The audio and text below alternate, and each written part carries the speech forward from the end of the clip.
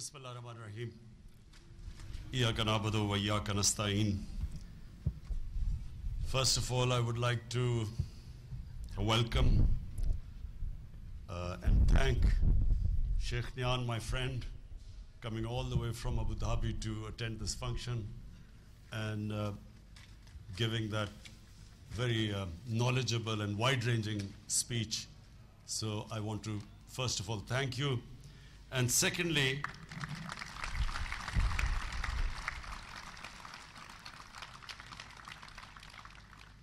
and secondly, I want to say on behalf of uh, my people, people of Pakistan, the way UAE has stood with Pakistan at a time when we needed friends. And UAE proved that they are a friend in need. They helped us at a time when we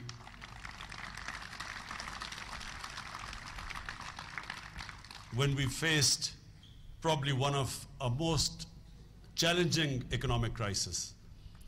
And thanks to uh, the way UAE helped us, and of course Saudi Arabia and China, the three countries that uh, helped Pakistan, we have now managed to stabilize our economy. So I want to uh, tell you, Sheikh Nian, that uh, my country will never forget the way you stood with us in our times of need.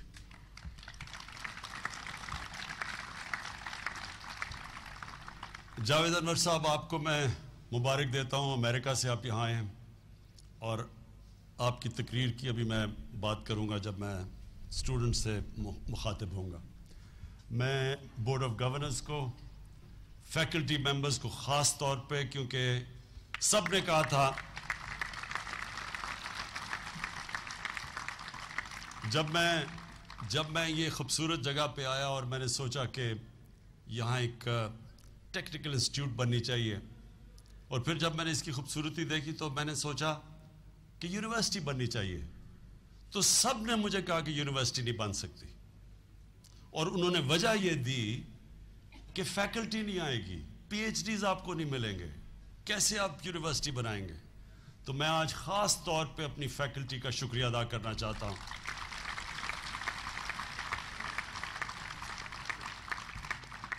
تقریباً چالیس چالیس پی H D ہے۔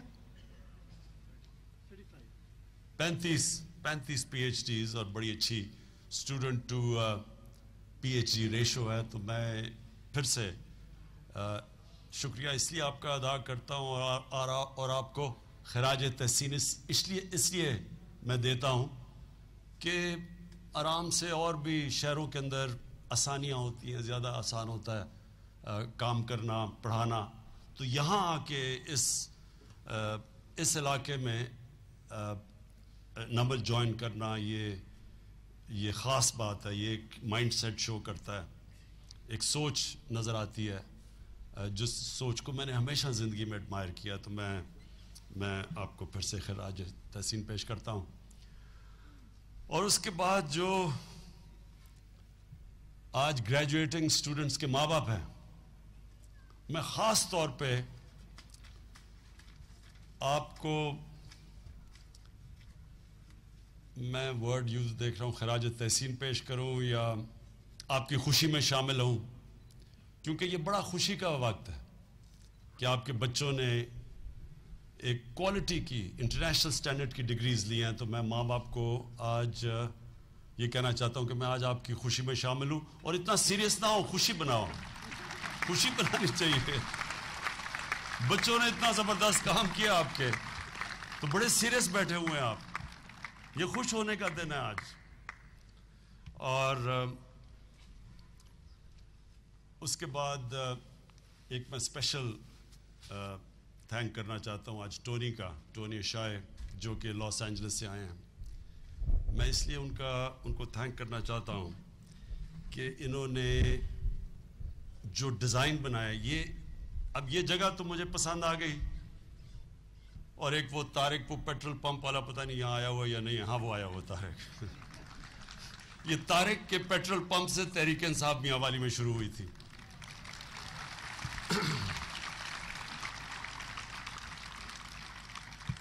کیونکہ میں یہاں camping شروع جب کی آج سے پتہ نہیں کتنے بیس بائیس سال پہلے تو یہاں کوئی جگہ ہی نہیں تھی ڈیرا تو ہمارا تھا نہیں کیونکہ میں تو لاہور میں رہتا تھا۔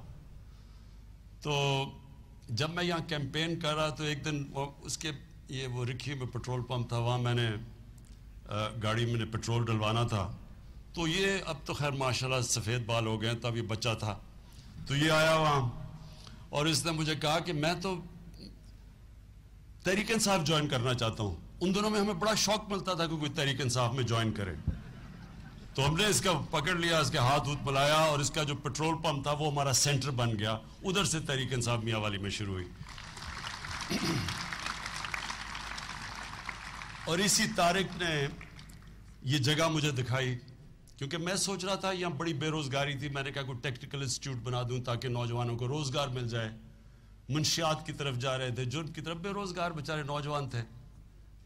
وائبرنسی تھی، کام کرنا چاہتے تھے، لیکن نوکریاں نہیں تھی۔ یا سکلز نہیں تھے۔ تو شروع تو ہوا یہ، تو میں اس کے پاس یہاں پیٹرول پمپ پہ ہم شام کو گرمیوں میں بیٹھے ہوئے، شام کو یہاں بیٹھتے تھے۔ تو ادھر اس نے مجھے کہا کہ یہ یہ جگہ دکھانے کو مجھے لے آیا۔ تو تب میں نے یہ جب جگہ دیکھی تو میں نے کہا یہ ٹیکنیکل انسٹیٹیوٹ بہت چھوٹی ہے اس جگہ کے لیے۔ یہاں ایک بڑی گرینڈ یونیورسٹی بننی چاہیے۔ تو ادھر سے یہ آئیڈیا شروع ہوا۔ اور وہ آج سے پتہ نہیں کتنے سال پہلے کی بات تھی۔ تو لیکن اس کا کیا ڈیزائن بننا تھا؟ یہ تو بلڈنگ بن گئی، لیکن مجھے یہ سمجھ نہیں تھی کہ اس کا ڈیزائن کیا ہونا چاہیے۔ تو ٹونی نے جو اس کا ماسٹر پلان بنایا ہے، پہلی دفعہ مجھے اب پکچر نظر آئی ہے کہ یہ انشاءاللہ یہ کیسے پاکستان کی آکسفورڈ یونیورسٹی بنے گی، یہ ساری جگہ۔ ایک نالج سٹی کیسے بنے گی؟ تو میں ٹونی آپ کا خاص شکریہ ادا کرنا چاہتا ہوں کیونکہ میں نے جب وہ ماسٹر پلان دیکھا تو مجھے بڑی دیر تک وہ ایکسائٹمنٹ رہی ہے، بڑی بڑی اچھی فیلنگ رہی کہ پہلی دفعہ ایک پکچر نظر آ رہی ہے کہ یہ کیا بنے گا۔ میں سب کے لیے، نوجوانوں آپ کے لیے اسٹوڈنٹس آپ کے لیے ایک چیز کہنا چاہتا ہوں۔ یاد رکھنا، اللہ نے جب ہمیں اشرف المخلوقات بنایا ہے اور جب فرشتوں کو کہا تھا کہ انسان کے سامنے جھکو، تو جب شیطان نے کہا کہ میں آگ کا بنا ہوں، میں نہیں جھکتا تو اللہ نے اس کو ایک چیز کہی تھی۔ اللہ نے کہا تھا، میں نے ان کو وہ طاقت دی ہے جو تمہیں نہیں، تمہیں بھی نہیں پتا۔ سو ہم سب میں اللہ نے بہت طاقت دی ہے۔ ہم ساری زندگی گزار دیتے ہیں۔ ہمیں پتہ ہی نہیں چلتا کہ اللہ نے ہمیں اپنی سب سے عظیم مخلوق بنایا ہے۔ ہمیں کیا کیا صفتیں دی ہیں۔ کیونکہ ہم ہم اس کو، ہمیں پتہ ہی نہیں چلتا، ہم کوشش ہی نہیں کرتے نکالنے کے لیے وہ طاقت۔ تو جو طاقت اللہ نے دیا، میں آپ کو آج ایک بات بتا رہا ہوں کہ جو چیز آپ تصور کر سکتے ہیں، جو پکچر کر سکتے ہیں، وہ آپ، وہ ہو سکتا ہے۔ یہ ہے طاقت آپ میں۔ جو آپ خواب دیکھ سکتے ہیں، جو آپ کے ذہن میں خواب آتی ہے نا، تو یاد رکھنا کہ وہ اللہ آپ کو کہہ رہا ہے کہ تم یہ کر سکتے ہو۔ انسان جو بھی جاوید انور نے بات کی، انسان ہار مان جاتا ہے، انسان دل چھوڑ جاتا ہے۔ لیکن اللہ نے آپ کو وہ کوالٹیز دی ہوئی ہیں کہ آپ کچھ بھی کر سکتے ہیں۔ تو مجھے جو خوشی ہوئی، ٹونی نے جب یہ پورا اس کا ماسٹر پلان دکھایا، تو مجھے اب نظر آ رہا ہے کہ یہ انشاءاللہ یہ پاکستان کا یہ جو سب سے، پاکستان نے یہ انٹرنیشنل لیول کی جو یونیورسٹی بننے جا رہی ہے، یہ نالج سٹی اب مجھے اس کی پکچر نظر آئی ہے۔ تو میں ٹونی جی اس اس وہ جو آپ نے ماسٹر پلان بنایا ہے، اس کا میں آپ کو خاص طور پہ شکریہ ادا کرتا ہوں آپ کا۔ اچھا اب میں اپنے پاکستان کا فیوچر آپ نے آج گریجویٹ کیا۔ تو آپ کے لیے میں ایک دس منٹ بس آپ کو جو آپ کا قبلہ ٹھیک کرنا چاہتا ہوں۔ قبلہ ٹھیک کرنا، یہ بڑا جب ہم نماز پڑھتے ہیں تو اللہ ہم ایک قبلہ اپنا پہلے سیدھا کرتے ہیں۔ یہ بڑا امپورٹنٹ کانسیپٹ ہے، اس کو سمجھنے کی آپ کی کوشش کرنی ہے۔ قبلے کا مطلب آپ کی زندگی کا روڈ میپ قرآن میں اللہ کہتا ہے کہ میں نے تمہیں کسی مقصد کے لیے پیدا کیا۔ ہر انسان کو اپنا مقصد ڈھونڈنا ہوتا ہے۔ جو وہ مقصد ہوتا ہے وہ یاد رکھیں ہر انسان کی وہ دل میں ہوتا ہے۔ دماغ میں نہیں ہوتا۔ دماغ جو آپ کا دل کا جو مقصد ہوتا ہے، جو دل آپ کا کہہ رہا ہوتا ہے، دماغ اس طرف لے کے جاتا ہے۔ دماغ جو ہوتا ہے، وہ اور چیز سوچتا ہے، دل اور طرف جاتا ہے۔ دل، دم، آپ کا کام ہے کہ جو میرا دل کہہ رہا ہے، دماغ کو اس طرف لگاؤ وہ کرنے کے لیے۔ میں نے اپنی ساری زندگی صرف اپنے دل پہ گیا ہوں۔ نو سال کی عمر میں فیصلہ کیا کرکٹ کھیلنا ہے۔ اس کے بعد میں نے کبھی نہیں سوچا کہ میں نہیں کھیلوں گا یا میں فیل ہوں گا۔ کبھی نہیں میں نے سوچا۔ وہ میرا قبلہ بن گیا۔ پھر اس کے بعد ہاسپٹل قبلہ بن گیا کہ میں نے اب یہ کرنا ہے۔ پھر پالیٹکس قبلہ بن گیا کہ پالیٹکس کیوں؟ کہ پاکستان کو وہ ملک بنانا ہے جو قائد اعظم قائد اعظم نے جس جو ملک بنانے کے لیے جد و جہد چالیس سال کی تھی اور جو علامہ اقبال نے ایک بڑا خواب دیکھا تھا، تو اس کے اوپر واپس لے کے آنا ہے۔ اسلامی فلائی ریاست، جو کہ جو دنیا کی پہلی ریاست بنی تھی۔ فلائی ریاست، یہ یاد رکھنا دنیا کی پہلی فلائی ریاست جو آج آپ کو اسکینڈنیویا میں نظر آتی ہیں یورپ میں نظر آتی ہے، اس دنیا کی پہلی فلائی ریاست مدینہ میں نبی صلی اللہ علیہ وسلم نے بنائی تھی۔ اور وہ اس پہ ہمارا جو ویژن تھی اس ملک کی، نہیں تو دیکھیں وہاں دو سو دو سو ملین، بیس کروڑ مسلمان آج ہندوستان میں ہیں۔ وہ ان ساروں نے بھی ووٹ دی تھی پاکستان کو۔ کیونکہ وہ ایک تصور تھا کہ ایک ایسا ماڈل بنائیں گے کہ دنیا کو بتائیں گے کہ اصل میں اسلام اسلام ہے کیا۔ کیونکہ وہ جو فلائی ریاست بنی تھی جو فلائی ریاست مدینہ کی بنی تھی، وہ ایک دنیا کا ایک سب سے کامیاب ماڈل تھا۔ اس ماڈل کے اوپر ایک وہ بنیاد رکھی گئی تھی جدھر دنیا کا ایک سب سے عظیم سویلائزیشن بنا تھا۔ اس کے اصول مدینہ کی ریاست پہ رکھے گئے تھے۔ وہ سارے ماڈرن پرنسپلز تھے۔ لوگ ریئلائز نہیں کرتے۔ میں کئی دفعہ کہتے جی چودہ سو سال کی بات نہ کریں۔ وہ جو چودہ سو سال پہلے پرنسپلز رکھے گئے تھے ماڈرن پرنسپلز تھے۔ اور وہ یاد رکھنا کہ جو بھی ملک ان پرنسپلز کو اپناتا ہے، وہ اوپر چلا جاتا ہے۔ جو بھی، اگر چائنا نے اس کا ایک پرنسپل کہ لوگوں کو غربت سے نکالنا ہے، تیس سال پہلے چائنا کیا تھا؟ کوئی تصور بھی نہیں کر سکتا تھا چائنا جدھر آج پہنچا ہے۔ لیکن تیس سال پہلے چائنیز لیڈرشپ نے فیصلہ کیا کہ ہم نے لوگوں کو غربت سے نکالنا ہے۔ اور انہوں نے غربت سے نکالتے نکالتے چائنا کو آج دنیا کی سب سے فاسٹسٹ گروئنگ اکانومی بنا دیا ہے۔ تیس سال پہلے ان کا پر کیپٹا کیا تھا؟ ہمارے جتنا تھا، جتنا آج ہمارا ہے، اس سے تھوڑا سا زیادہ ہوگا۔ آج چائنا کا پر کیپٹل دس ہزار ڈالر۔ دس نہیں، ان کی، ان کا جی ڈی پی دس ٹریلین ہے۔ تیس سال پہلے ان کا تین سو بلین ڈالر تھا جو آج ہمارا ہے۔ کہنے کا مقصد یہ ہے کہ آج اسکینڈینیوین ممالک کے اندر اگر خوشحالی ہے، اس لیے کہ انہوں نے وہ سارے پرنسپلز اپنائے کیے ہوئے ہیں۔ ایک فلائی ریاست ہے، عدل اور انصاف کا نظام ہے، انسانیت ہے۔ اور اس پہ، اس کی وجہ سے میں پالیٹکس میں آیا تو میں کہنے کا مقصد یہ ہے کہ جب میں آیا وہ بنانے کے لیے تو ساروں نے، کسی نے نہیں سمجھا کامیاب ہوں گا۔ لیکن میں نے پکچر تب بھی کیا ہوا تھا۔ پھر یہ نمل کا، پھر جو میرا فائنل جو زندگی کا گول ہے وہ یہ کہ یہ وہ انشاءاللہ مدینہ کی ریاست کے اصولوں کے اوپر یہ ایک عظیم قوم کھڑی ہوگی جو دنیا میں ایک مثال بنے گی۔ ہم ایک مثال بنے گے انشاءاللہ۔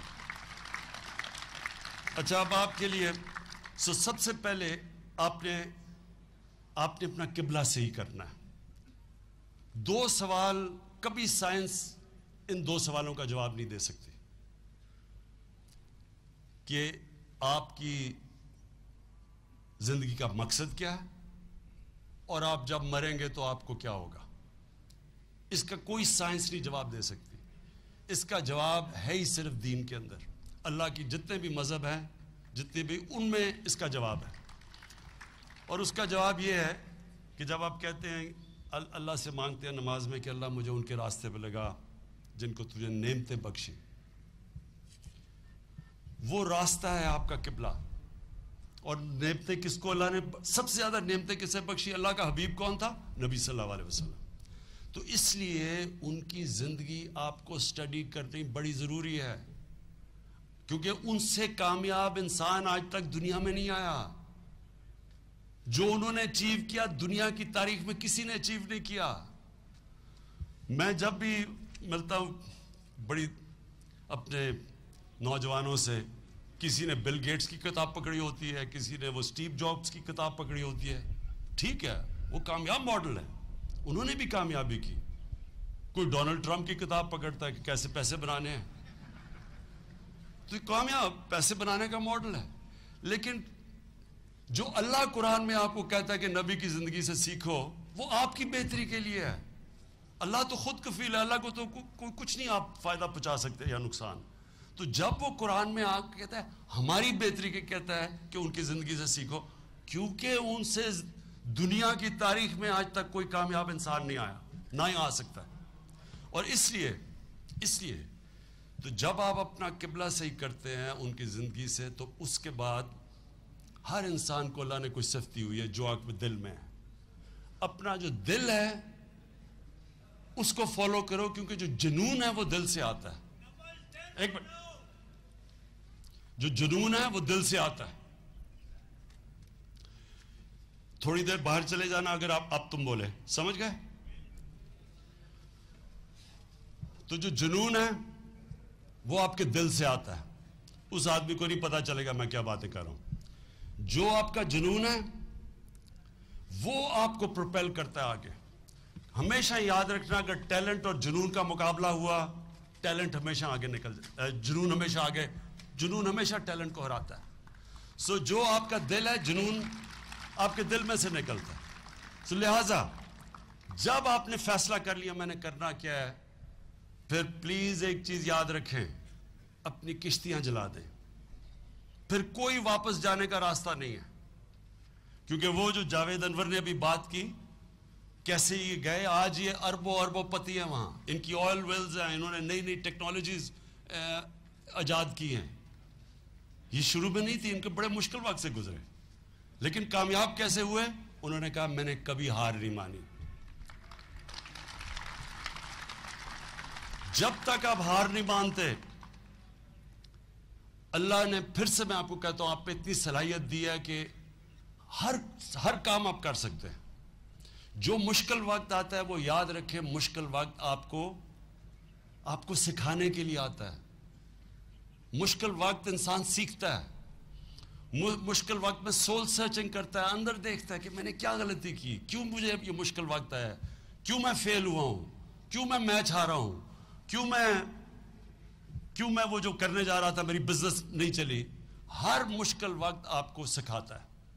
اور اگر آپ اس مشکل وقت سے صحیح سبق سیکھ لیں اور آپ، کیونکہ آپ کو تعلیم ملی ہے ہائر ایجوکیشن ملا ہے آپ میں تعلیم آپ میں زیادہ آپ کو موقع دیتی ہے، آپ کو ابلٹی دیتی ہے کہ آپ اپنی غلطیوں کو اینالائز صحیح کر سکیں۔ تو آپ کو انالیسز کرنے کے لیے یہ جو آپ کی ایجوکیشن ہے، یہ آپ کو باقی لوگوں سے ایڈوانٹیج ہے آپ کہ جب آپ کے اوپر مشکل وقت آئے گا تو آپ سوچیں گے، میں نے کیا غلطی کی؟ جیسے ہی آپ اپنی غلطی کو درست کرتے ہیں، آپ پہلے سے زیادہ طاقتور ہو کے کھڑے ہو جاتے ہیں۔ اور یہ ہے پروگریشن زندگی کا۔ اونچ نیچ زندگی کا حصہ ہے۔ جو انسان برے وقت سے ڈر جاتا ہے، گھبرا جاتا ہے ڈیمورلائز ہو جاتا ہے، وہ کبھی اوپر نہیں جا سکتا۔ اور یہ جو انہوں نے جاوید انور نے دوسری بات کی، جب آپ کے اوپر برا وقت آتا ہے، تو کئی دفعہ کوشش انسان سوچتا ہے کہ میں کوئی شارٹ کٹ لے لوں۔ ڈیمورلائز ہو کہ اچھا میں اپنی مشن سے وہ تو نہیں کر سکتا، چلو میں اسے کچھ کم کر لوں۔ اصل میں آپ کو ہار کبھی نہیں ہراتی۔ ہار سے جو ڈیمورلائزیشن ہے وہ آپ کو ہراتی ہے۔ اور یہ جو یہ جو انہوں نے بات کی کہ کئی دفعہ جب برا وقت آتا ہے، میں نے کئی بڑے بڑے اب میری زندگی میں بڑے لوگوں نے اچھے کام کیے بزنسز بڑی بنا دیں۔ لیکن جب برا وقت آیا تو انہوں نے شارٹ کٹ لینے کی کوشش کی۔ انہوں نے ایمانداری سے کام نہیں کیا اور اس نے ان کو ختم کر دیا۔ سو so, برا وقت سے کبھی ڈرنا نہ۔ ایکسپیکٹ کرنا کہ جتنا آپ اوپر جائیں گے اتنے آپ کے نیچے بھی گریں گے برے وقت آئیں گے لیکن اسے کبھی ڈرنا نہ۔ کامیابی کا راز یہ ہے کہ برے وقت کو آپ کیسے ڈیل کرتے ہیں کیسے سنبھالتے ہیں کیسے کیسے سیکھتے ہیں اس سے۔ اور جب تک آپ زندگی میں جب تک آپ سٹرگل کرتے رہیں گے اور آپ آپ کے گولز ایک گول پہ پہنچے پھر اگلے گول پہ چلے جاؤ۔ پھر اس سے اگلے گول پہ چلے جاؤ۔ جس وقت آپ رک گئے، آپ کی خواب ختم ہو گئی ایمبیشن رک گئی، اس کا مطلب کہ آپ اب نیچے آنے شروع ہو جائیں گے۔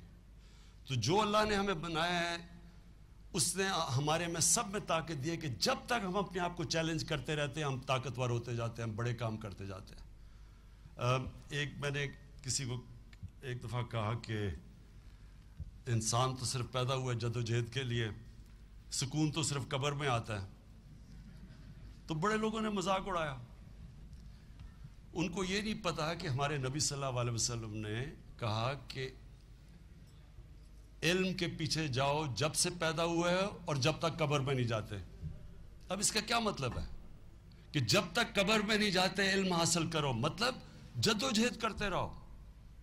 اگر آپ نے جد و جہد چھوڑ دی، اس کا مطلب آپ علم تو نہیں سیکھ رہے۔ جد و جہد میں انسان سیکھتا ہے۔ اس لیے یہ تو دنیا کے سب سے بڑے لیڈر نے کہا ہوا ہے کہ جب تک آپ قبر پہ نہیں جاتے، جد و جہد کرتے رہو، سیکھتے رہو۔ اور اللہ نے پھر آپ پہ کیپیسٹی دی دی ہے۔ جس طرح اقبال نے کہا، ستاروں کے آگے جہان اور بھی ہیں۔ ابھی عشق کے امتحان اور بھی ہیں۔ ایک ستارے پہ پہنچو، اس کے بعد آگے چلو۔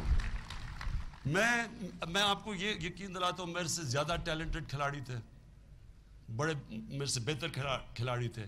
لیکن فرق یہ تھا کہ میں ایک میں پہلے کہا میں پاکستان کا بیسٹ آل راؤنڈر بنوں گا۔ یہ میرا ایم تھا۔